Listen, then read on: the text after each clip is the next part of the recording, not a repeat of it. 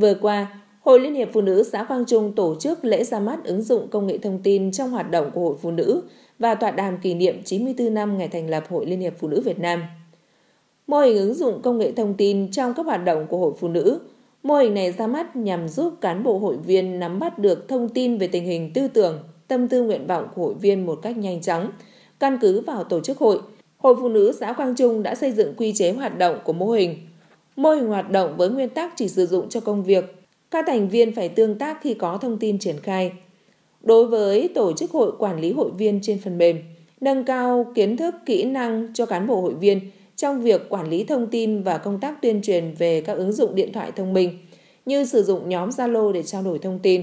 các ứng dụng VSSID trong bảo hiểm y tế,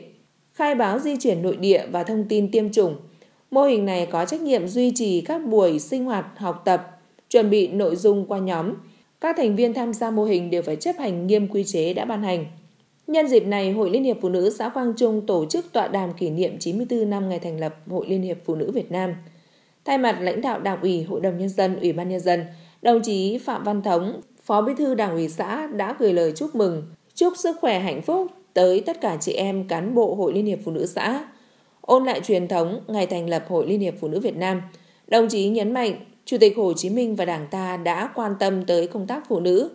Phụ nữ có vai trò vô cùng lớn. Họ là người vợ, người mẹ, người em, người con trong gia đình và là lực lượng quan trọng của xã hội – Người phụ nữ không chỉ anh hùng trong đấu tranh chống giặc ngoại xâm mà còn sáng tạo trong lao động. Vai trò của phụ nữ đã được khẳng định qua lịch sử của dân tộc ta. Cuối cùng đồng chí gửi tới toàn thể cán bộ hội, hội viên phụ nữ xã nhà lời chúc tốt đẹp nhất, mãi xứng đáng với 8 chữ vàng mà Chủ tịch Hồ Chí Minh đã trao tặng, anh hùng bất khuất trung hậu đảm đang.